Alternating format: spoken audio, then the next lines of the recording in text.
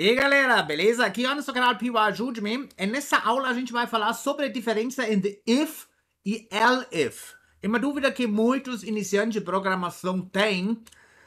E por isso eu escolhi aqui um exemplo simples. Que todo mundo consegue entender, mesmo não tendo feito nada ainda com programação. Então a gente vai definir aqui um variável, um número, e a gente vai dar o valor zero. E depois a gente vai fazer três verificações. Se o número for zero, a gente vai imprimir isso aqui. Número é exatamente zero. Se for menor que 5, a gente vai imprimir isso aqui. Número é menor que 5. E se for menor que 10, é número menor que 10. Agora a gente vai rodar o código.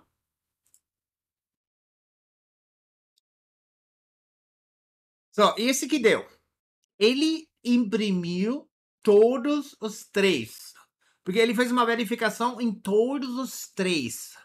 Porque o número é zero, é também menor que 5 e menor de 10. Né? Tudo é válido, então ele imprime isso aqui. Muitas vezes você não vai querer isso. Você vai só querer verificar isso aí, por exemplo, e depois sai do código. E a gente poderia fazer isso teoricamente com else, né? Então, a gente vai pegar o código. Então, primeira verificação, se número é zero, então você imprimir. Se não for o caso, a gente vai colocar aqui um else. E em Python a gente tem que dar tudo aqui para dentro, um indent. So, e agora a próxima verificação a gente vai colocar aqui um else. E a gente vai colocar aqui mais. Por dentro, e você já está vendo o código está ficando horrível. Né? Aos poucos. Mas, agora, está funcionando do jeito que a gente quer. Né? Então, vamos colocar agora, sei lá, um. Vamos colocar um. Um é menor que 5. Perfeito.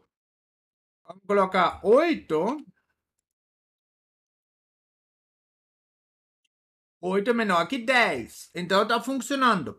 Só que é um problema, isso ainda foi uma verificação bem, bem simples, vamos dizer. Então não é nada demais. O código já é horrível. Né? É horrível para ler, já dá, dá, dá, uma merda, ok? So, e por isso existe esse elif. Also junta basicamente else e if. E olha aqui. Você deleta aqui. Boom. Primeiro. Agora você deleta o segundo. Boom. E a gente vai voltar aqui para não ficar mais horrível. E pronto. E agora, se a gente roda o código novamente, você vai ver que está fazendo a mesma coisa. Um. Ah, fazendo a mesma coisa. E zero.